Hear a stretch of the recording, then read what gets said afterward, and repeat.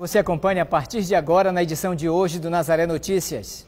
Medidas de segurança no trabalho são determinantes para evitar acidentes. Mais de 1.500 pessoas morreram vítimas de acidentes de trânsito em 2015, segundo o Hospital Metropolitano. Farmácia popular é alternativa para quem depende do uso de medicamentos. 50% da água tratada no Pará é desperdiçada. Vamos conhecer o bairro da Pedreira. E na entrevista de hoje vamos falar sobre o extravio de documentos. Hoje é quarta-feira, 14 de outubro e o Nazaré Notícias já está no ar.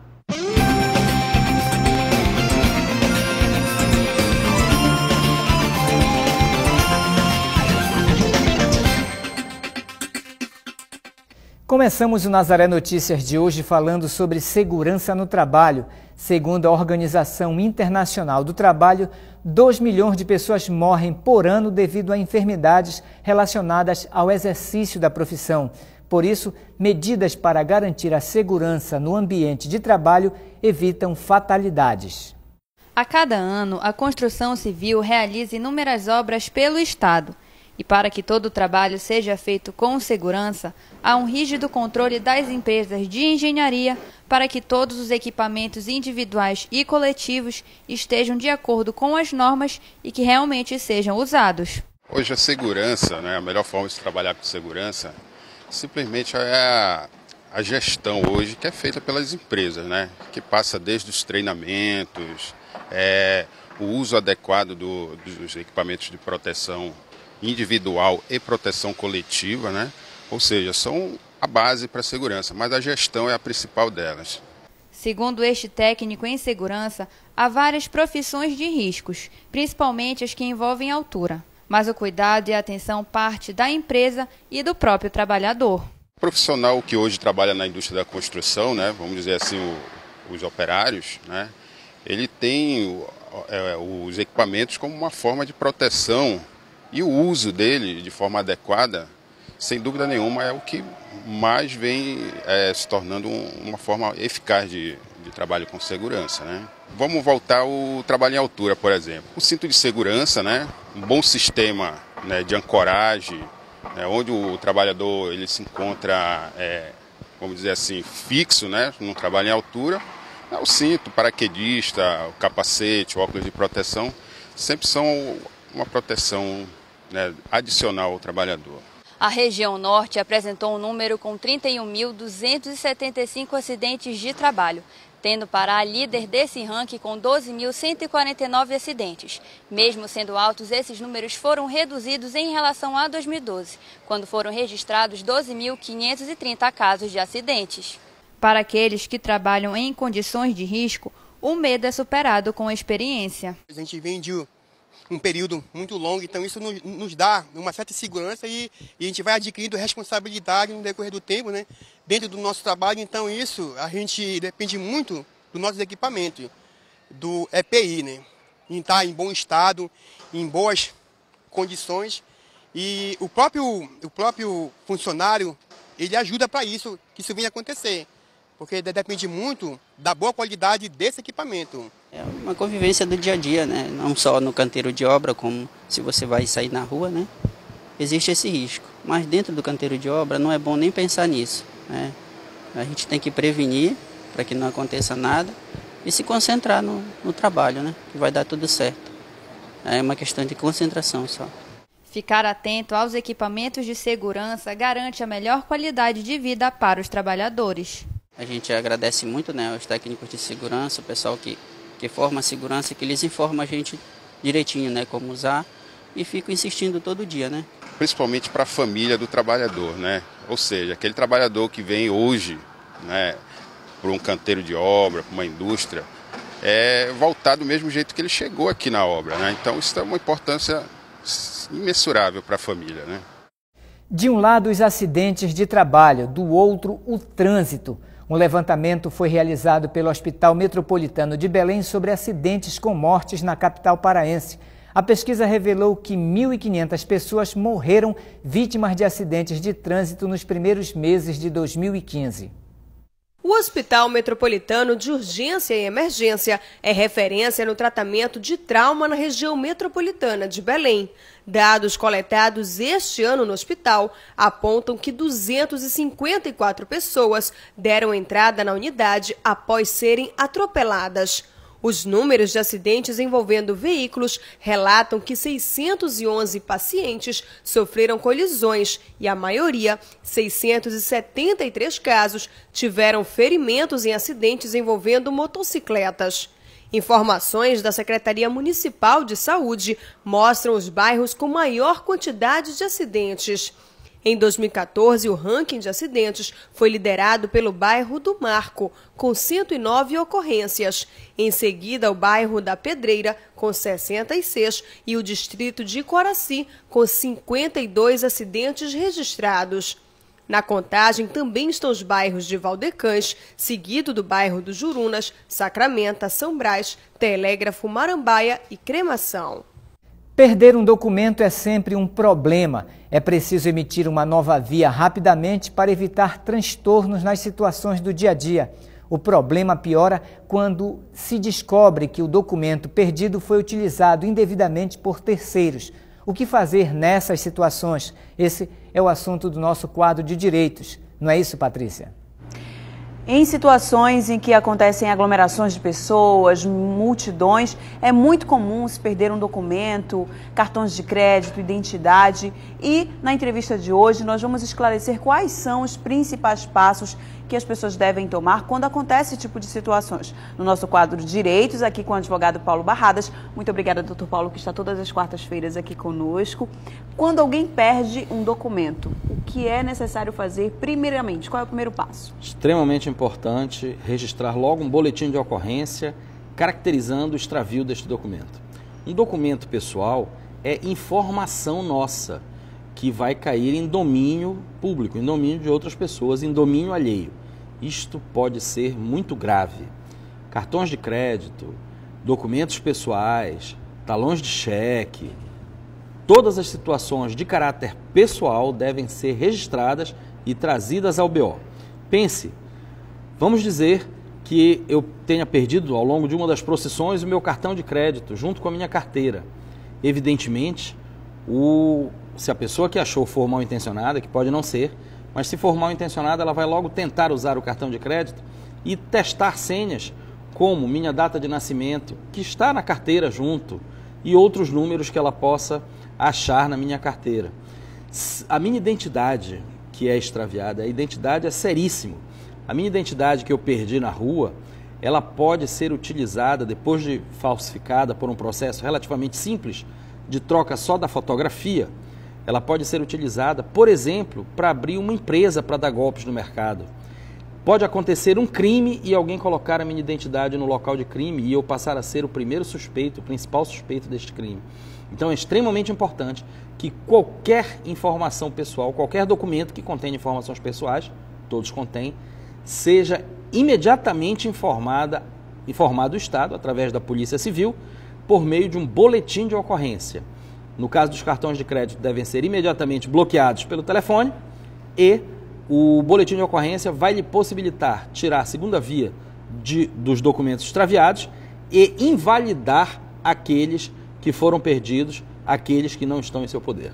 Agora, doutor Paulo, existem pessoas que perdem, por exemplo, a mochila ou a bolsa inteira com vários documentos juntos, né? Ou seja, uma combinação de informações e de documentos que podem ser utilizados. Nesses casos é mais grave tanto mais grave.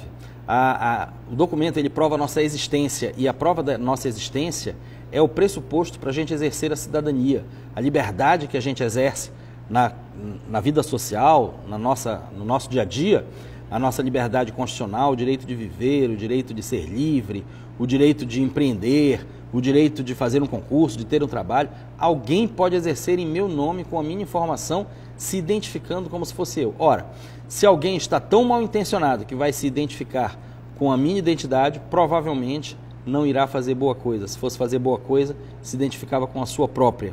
Então, isto é muito grave, merece toda a atenção no mundo e pode trazer problemas e consequências, às vezes irreversíveis. Agora, quando uma pessoa passa a ser cobrada por uma empresa, por uma loja, por uma conta que teria feito, né, que teria sido feita com os seus documentos, ou seja, por terceiros. Qual é o primeiro passo? Deve-se procurar a polícia, ir até a loja? Aí vem de novo aquele BO lá, que lá quando eu fui extraviado, eu fiz um boletim de ocorrência, guardei o boletim de ocorrência. Ele é a primeira prova de que a loja vendeu para uma pessoa que não fui eu. E não tendo sido eu, eu não posso ser cobrado. Se a loja não tem a sua segurança tão refinada a ponto de não distinguir quem é o efetivo dono do documento e quem não é, responsabilidade do próprio fornecedor que deve aprimorar os seus meios e cobrar de quem efetivamente fez a compra, ou seja, a pessoa que utilizou os meus documentos. Então a loja se responsabiliza pelos seus métodos pouco eficientes. Mas a pessoa procura diretamente a loja, doutor Paulo, é, procura um advogado para que aquilo seja cancelado ou a loja espontaneamente deve fazer esse cancelamento? Como funciona? No caso de cobrança indevida, há dois caminhos. Normalmente o primeiro passo é se procurar a loja ou a empresa que está cobrando, pode ser loja, pode não ser, e justificar, olha, essa identidade, esse documento foi roubado e provavelmente essa conta deve ser isso. Se a empresa insistir na cobrança, aí sim deve ser constituído um advogado público ou privado, ou um advogado particular, ou um defensor público, e aí a questão deve ser ajuizada porque essa cobrança ela é indevida e como tal ela tem consequências legais que aí o fornecedor que está promovendo vai ter que purgar. Cabe, inclusive, a compensação por um dano moral que a pessoa tenha, possa vir a, a, ter por causa dessa cobrança? Sim, cabe. Se essa cobrança for exagerada, for fora dos padrões permitidos em lei, evidentemente vai gerar um dano moral. Pode gerar danos materiais também. O meu nome pode ser negativado nos órgãos de proteção ao crédito e eu posso perder o meu crédito durante um tempo.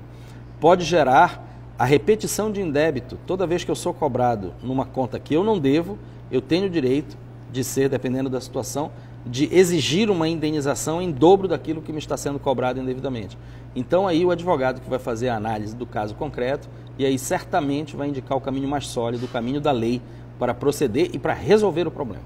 Agora, doutor Paulo, é, quando se trata de contas em banco ou processos mais complexos, com, é, funciona da mesma forma, é o mesmo procedimento? Da mesma forma, em relação ao banco, nós somos consumidores. Então, o banco, ele tem todos os meus dados lá, ele me conhece, ele tem as minhas impressões, ele sabe como é. Os bancos hoje, de uma forma refinada, eles sabem até o meu perfil de consumo. Eles sabem o que eu costumo consumir e o que eu não costumo consumir. E quando eu vou adquirir uma coisa que eu não tenho costume, os melhores costumam consultar o cliente. É você mesmo, você está fazendo essa compra, estão tentando fazer essa compra no seu cartão de débito ou no seu cartão de crédito. Enfim, qualquer erro neste processo, responsabilidade desde que eu cumpra a minha parte, que é fazer o meu BO, a partir daí a responsabilidade deixa de ser do consumidor, a responsabilidade passa a ser do fornecedor que fez a venda errada. Agora, doutor Paulo, independente dessa questão do extravio de documentos, no caso de cobranças de lojas que fazem, é, que fazem ligações para residências, é, perguntando sobre terceiros, pessoas que não residem naquela residência, são informados que a pessoa não reside naquele local, mas as ligações continuam insistentemente. O que, que a pessoa deve fazer para se livrar desse incômodo? Isto tem duas esferas. Primeiro é um caso de polícia, e, e aí o consumidor deve buscar a Delegacia de Crimes contra o Consumidor, porque isto é uma, um constrangimento indevido e ilegal. Segundo, tem o dano moral, tem a indenização que provém desta indignidade ao qual o consumidor, a qual o consumidor é exposto. E terceiro, nunca dê informações a quem você não sabe que está do outro lado da linha. Quando uh, toca o telefone em casa, que a gente atende, agora não é mais em casa, né? É o celular que a gente atende, a pessoa do outro lado fala, quem fala? Ora, quem me ligou sabe com quem quer falar. Não sou eu que tenho que dar informações de quem sou eu, onde eu estou, o que é que eu faço da vida, porque informação vale ouro e a informação pode ser o fator de vazamento, de quebra da segurança pessoal das pessoas. Então, nunca dê informações que lhe são solicitadas por quem você não conhece porque isso pode representar um perigo inominável. Agora, doutor Paulo, nesse caso ainda do extravio de documentos, caso a pessoa demore algum tempo para registrar o boletim de ocorrência e aconteça alguma coisa, uma compra, a abertura de uma conta, enfim, antes desse boletim ter sido registrado, a pessoa ainda assim pode recorrer, fica respaldada, o que, que deve fazer? Salvo impossibilidade da pessoa, vamos dizer que eu percebi o extravio quando eu estava no meio da floresta fazendo uma expedição. Aí, evidentemente, eu não tenho como de lá registrar um BO. Mas a partir do momento que eu cheguei na civilização, eu tenho que registrar logo. Por quê? Porque o que acontecer até o momento do registro do boletim de ocorrência é problema meu, porque eu não havia informado o Estado do extravio desses documentos. A partir do momento que o Estado está informado desse extravio, a minha responsabilidade cessa, salvo má fé. Há quem faça um boletim de ocorrência falso, o que é crime, dizendo que extraviou um documento que não foi extraviado para se utilizar dele de má fé. Isto é crime, isto é facilmente apurável. Então, nem tente. Ok, muito obrigada, doutor Paulo, pelas suas informações. Na próxima quarta-feira, doutor Paulo Barradas estará de novo aqui com mais um tema relacionado aos seus direitos. Vamos homenagear Belém em seus 400 anos e você pode participar dessa homenagem. Envie para nós o seu olhar sobre o que de bom temos aqui. Nosso WhatsApp é o 988023444 e nós mostraremos aqui no Nazaré Notícias toda segunda e sexta-feira as fotografias que você enviou para nós. O número de ocorrências relacionadas ao tráfico de drogas cresceu 5% em Rio Branco em 2014 em comparação ao ano anterior. Os dados constam no nono Anuário Brasileiro de Segurança Pública. Somente no ano passado houve o registro de 356 casos contra 339 ocorrências em 2013. Apesar do aumento na capital do Acre, em números gerais, houve uma redução de 12% nesse tipo de ocorrência no estado.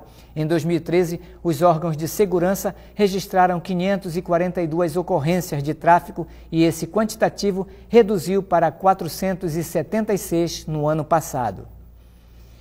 E agora vamos falar de greve. No Amapá, a adesão de agências à greve da categoria aumentou de 19 para 26 desde o começo do movimento no dia 6 de outubro, segundo informações do Sindicato dos Bancários da cidade. A greve atinge clientes de bancos com agências em Macapá, Santana e Laranjal do Jari.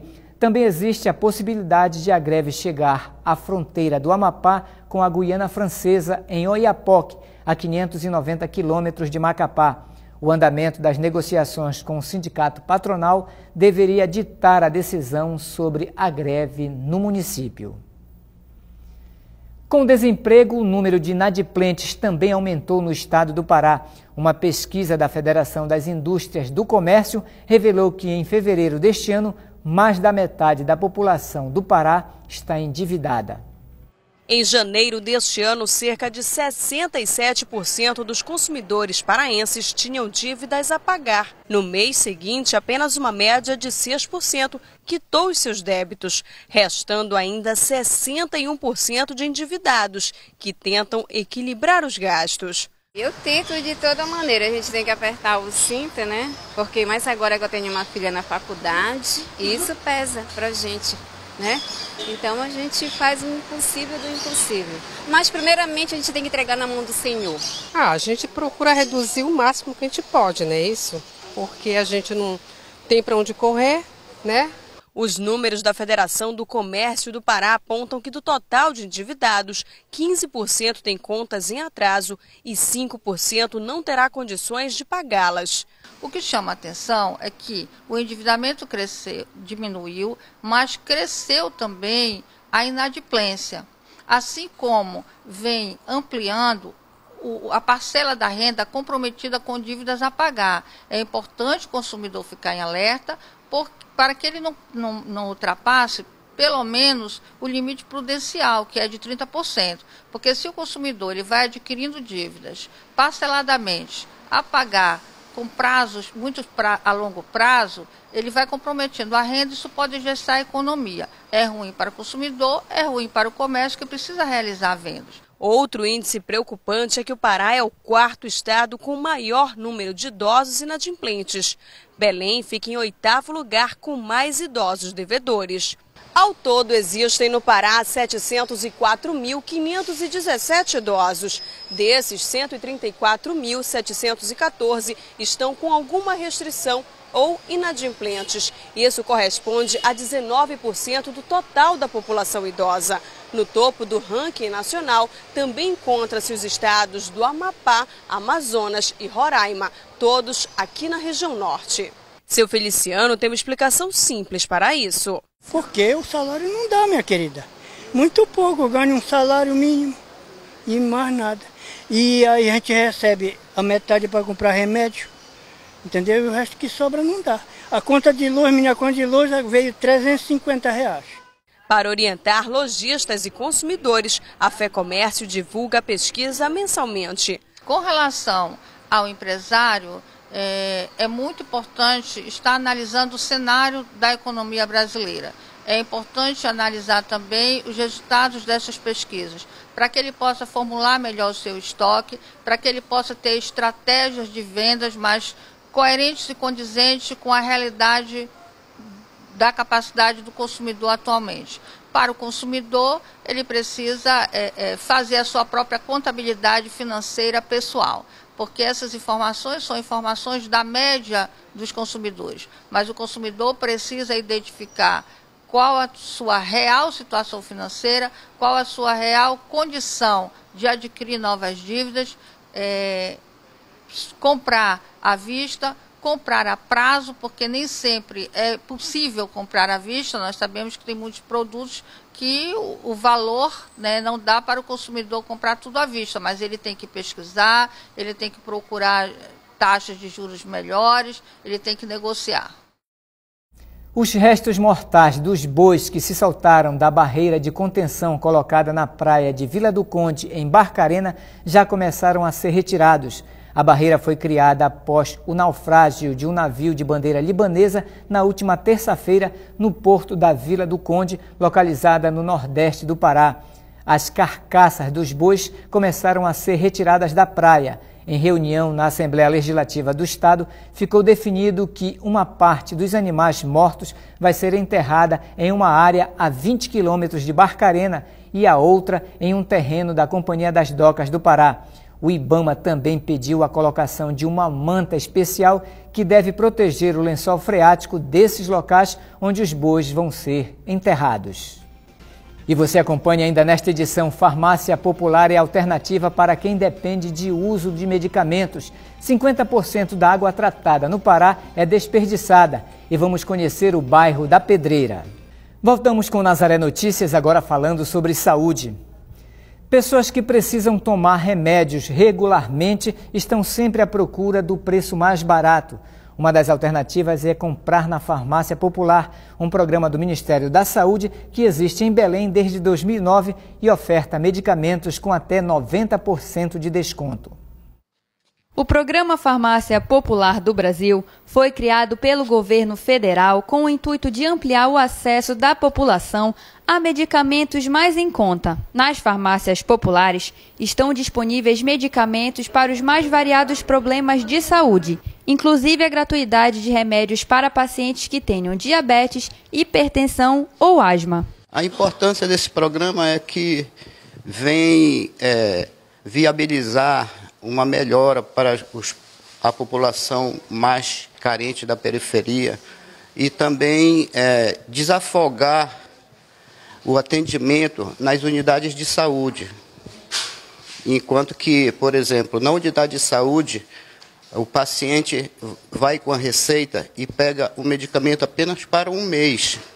Enquanto que na farmácia popular, essa, essa receita dele vale para quatro meses. Então, desafoga o atendimento dos médicos na unidade de saúde. Todo paciente que deseja adquirir algum remédio nas farmácias populares devem seguir alguns critérios. O paciente, para se habilitar a pegar a medicação gratuita, é, ele tem que comparecer aqui, a pessoa mesmo, proprietária da receita, é, tem que comparecer munido do CPF, identidade e a receita atualizada, com o nome da pessoa, tudo certinho. Em Belém, há oito farmácias populares, sendo duas no distrito de Mosqueiro e uma em Coraci. Segundo este farmacêutico, a divulgação do programa da farmácia popular deve ser expandida. Na minha opinião, eu acho que ainda deveria ter uma divulgação melhor, porque tem pessoas que chegam, ah, eu não sabia que a farmácia era aqui e tal,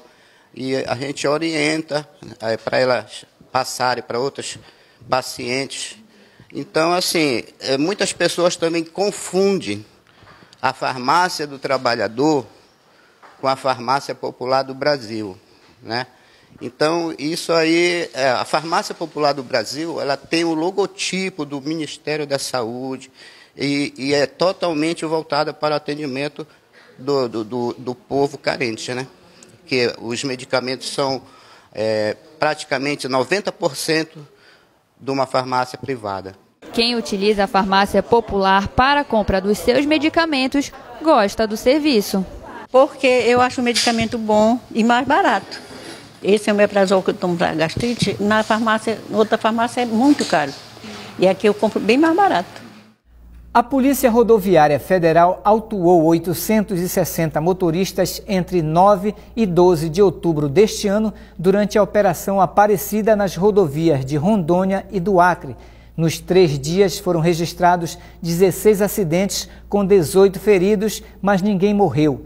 Durante a ação, três pessoas foram presas por embriaguez e 13 foram impedidas de dirigir por estarem sob efeito de álcool. Houve ainda um homem preso por tráfico de drogas em Porto Velho. Segundo a PRF, o objetivo da operação foi reduzir os números de acidentes nas estradas. Para isso, os agentes fiscalizaram 4.876 veículos e mais de 1.517 testes de bafômetro foram aplicados. Os radares flagraram 399 carros acima do limite de velocidade permitido por lei e 157 foram autuados por ultrapassagens indevidas. E agora você acompanha a previsão do tempo para amanhã na Amazônia.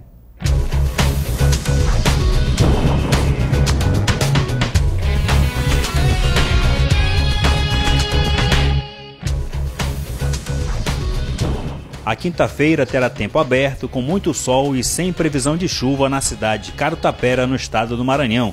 O tempo seco poderá registrar temperatura mínima de 26 graus e máxima de 31. Em Belém, capital paraense, o tempo poderá ser parcialmente nublado, com previsão de chuva fraca pela parte da tarde. Os termômetros podem marcar 23 graus de temperatura mínima e chegando a 34 graus de máxima. Já em Labra, município do Amazonas, o tempo será nublado com possibilidade de pancadas de chuva. A temperatura mínima pode ficar a 23 graus e a máxima pode chegar a 37.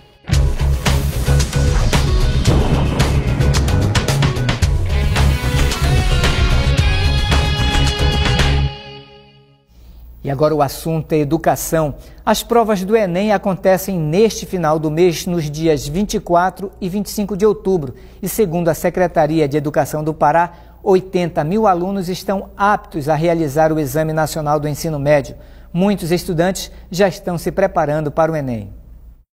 Pode ser em casa, na escola ou em cursinhos, mas a preparação dos alunos da capital paraense para a realização do Exame Nacional do Ensino Médio já começou. As provas englobam habilidades que passam por todas as matérias, mas parte do aluno ter uma rotina de estudos e se dedicar para ter um bom resultado nas provas. Além de vir para cá para o cursinho, eu procuro estudar em casa através de sites que a gente vê muitas videoaulas.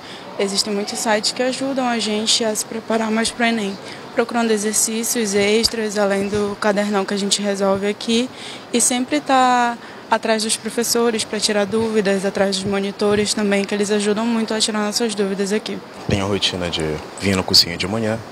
Ao chegar em casa, eu tenho que preparar o material do que foi visto no dia e preparo algumas horas de estudo. No meu caso, eu preparo oito horas de estudo. Na tarde, levo até a noite para que eu possa poder assimilar e fazer exercícios, para que eu tenha uma boa preparação. Segundo este professor, a preparação começa no início do ano, com orientações, dicas e resolução de exercícios das provas anteriores. Exatamente, dando que a cada simulado verifico quais são as questões, pergunto quais são as questões que eles mais erraram, qual foi o assunto, tento oferecer sempre a orientação do aluno para que ele possa identificar qual é o próprio erro.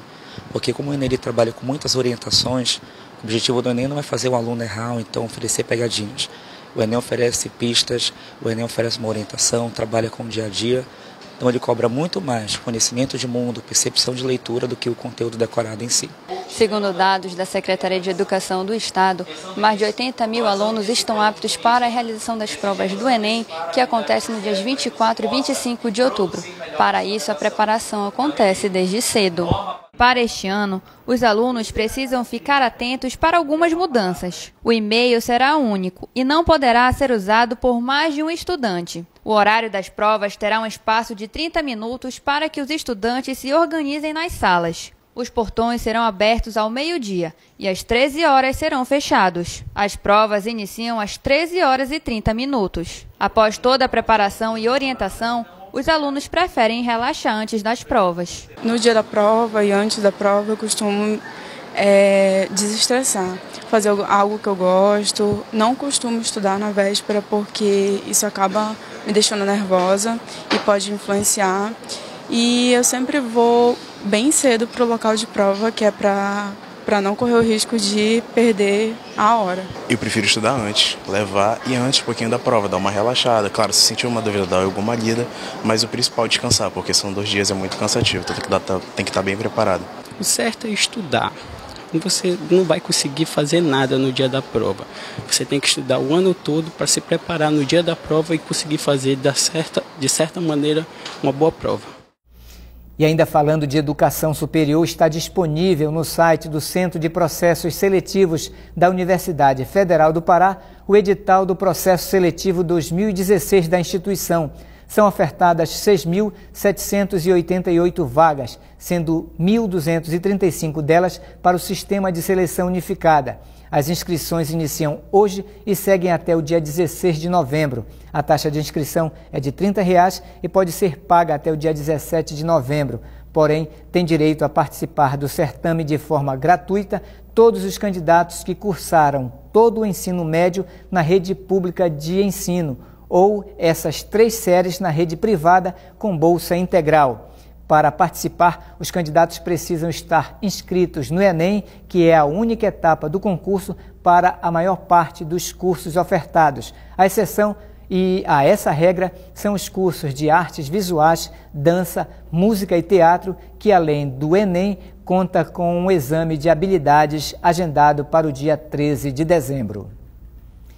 Pesquisas apontam que o Brasil joga fora 37% da água tratada. Aqui no Pará, segundo dados da COSAMPA, este desperdício ultrapassa 50%.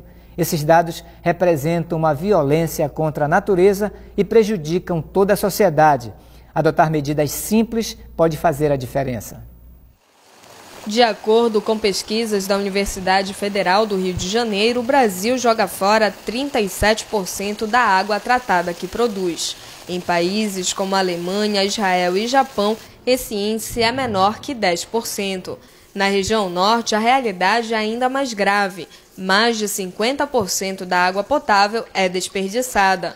Lava-jatos contribuem muito para esse índice, mas aqui no estado existe uma lei que proíbe a COSAMPA de comercializar água para essas empresas. É proibido por lei estadual de fornecer água potável para lava-jato.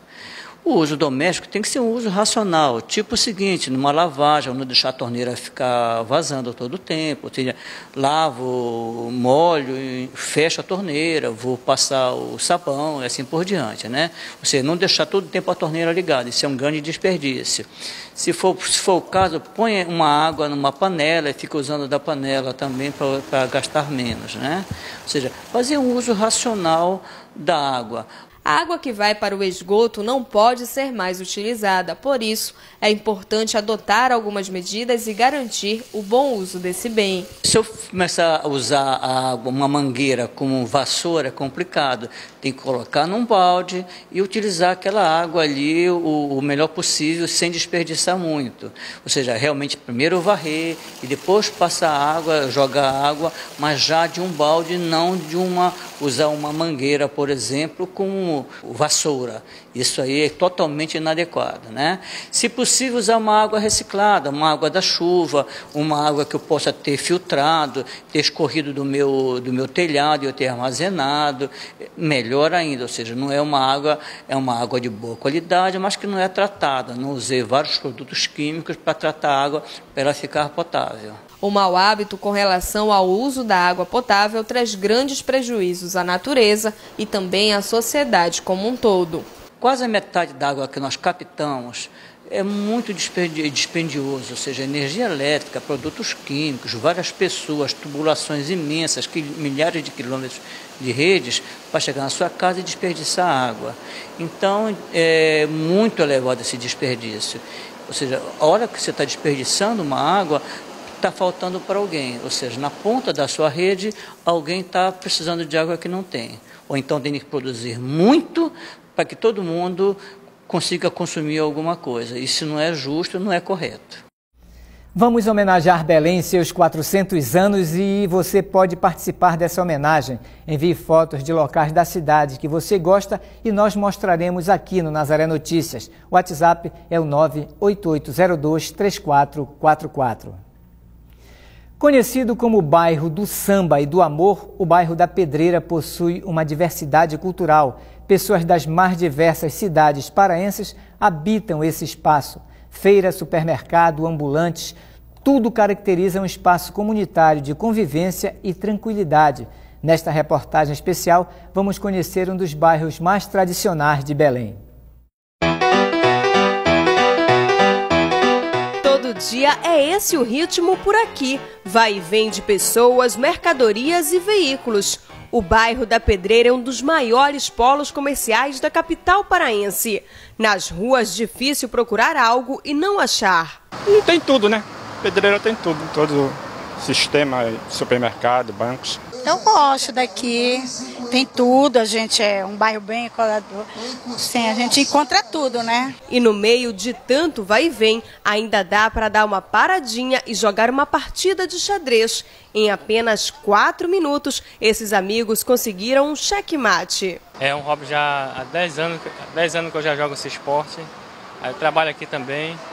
A gente joga aqui o bairro da Pedreira tem avenidas modernas e arborizadas, extensas com 40 metros de largura, projetadas pelo intendente de Belém, Antônio Lemos, na virada do século XIX para o XX. Hoje, as largas transversais asfaltadas se diferem bem da memória dos moradores. O bairro aqui, aqui para onde eu morava era ponte.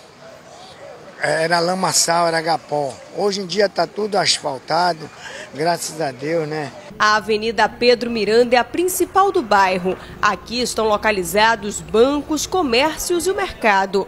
Já a Avenida Marquês Gerval é a primeira via parque de Belém. Possui mais de 3 quilômetros de ciclovia, parques infantis, academia ao ar livre, calçada padronizada e jardins. Ah, aqui eu gosto de tudo, né? É, eu nasci e me criei aqui na Pedreira e adoro. A identidade do bairro foi imortalizada pela escritora paraense Eneida de Moraes como pedreira do samba e do amor, uma referência aos bailes carnavalescos ocorridos no bairro em meados dos anos 50.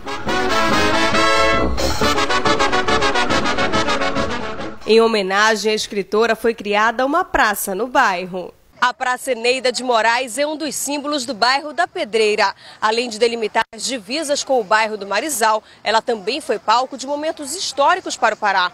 Foi aqui que, no final da década de 90, os sem terras aguardaram o início do julgamento para o caso de Eldorado de Carajás. Infelizmente, hoje, a praça encontra-se totalmente abandonada pelo poder público. Hoje o carnaval tem um palco único. A aldeia amazônica Davi Miguel é o Sambódromo de Belém, utilizado também para vários eventos culturais.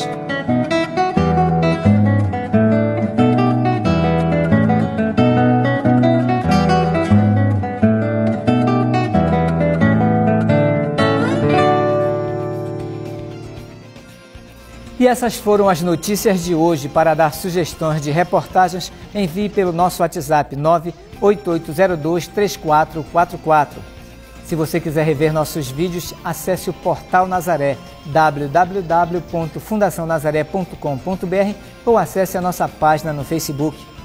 Nazaré Notícias fica por aqui, nos encontraremos amanhã na próxima edição. Até lá!